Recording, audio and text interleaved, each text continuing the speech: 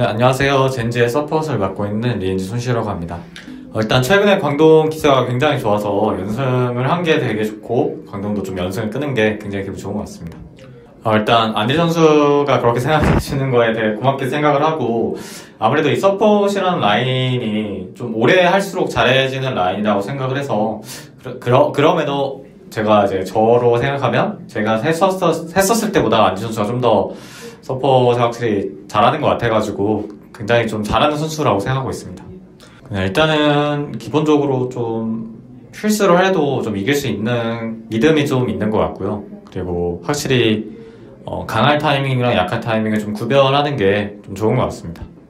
어, 저 뭐 아직까지 안 맞는 부분이 당연히 있다고 생각을 하는데 그래도 좀 뭔가 좀 더 욕심을 내다가 그렇게 되는 경우라서 당연히 실수하는 거는 고쳐야겠지만 되게 옳은 방향이라고 생각하고 있습니다. 아, 글쎄 그거 뭐 저는 우승 월드 우승을 해본 적이 없어가지고 그냥 열심히 닿는 데까지 최선을 다할 생각입니다.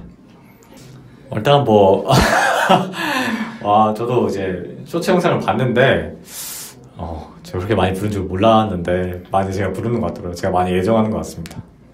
아, 당연히 개인 선수랑 그런 거 없고요. 다 농담하고 있습니다. 농담입니다. 예.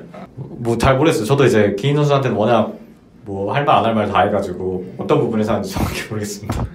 아, 뭐 안 했을 수도 있지만 제가 착각한 걸 수도 있잖아요. 뭐 사람 누구나 실수를 하니까 뭐 사실이 맞다면 제가 맞는 거고 실수를 했다면 사과하는 게 맞다고 생각합니다.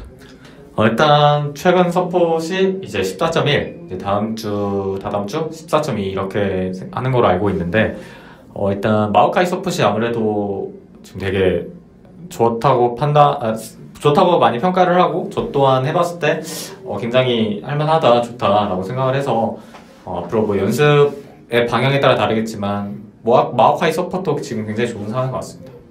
어, 일단 음, 저 개인적으로는 마오카이란 챔피언이 value pick이라고 생각을 하는데 그러니까 후반 갈수록 굉장히 좋은 챔피언이라고 생각을 하는데 예, 솔랭 같은 경우에는 아무래도 어, 그 타이밍에 이득을 많이 못 봐서 좀 더 좀더 많이 각각 맞는 그런 챔피언인 것 같습니다.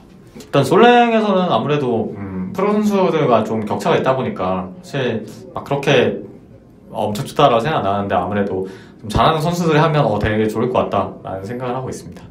일단 어, 최근에 연승을 달리고 있는데 사실 어, 아, 제가 항상 말했던 말했다시피 마지막에 웃는 게 가장 중요하다고 생각을 하고 어, 저희가 실수 많이 나오지만 좀 더 발전하기 위해서 나오는 장면이라고 생각해 주셨으면 좋겠고 저희는 항상 최선을 다해, 다하도록 하겠습니다.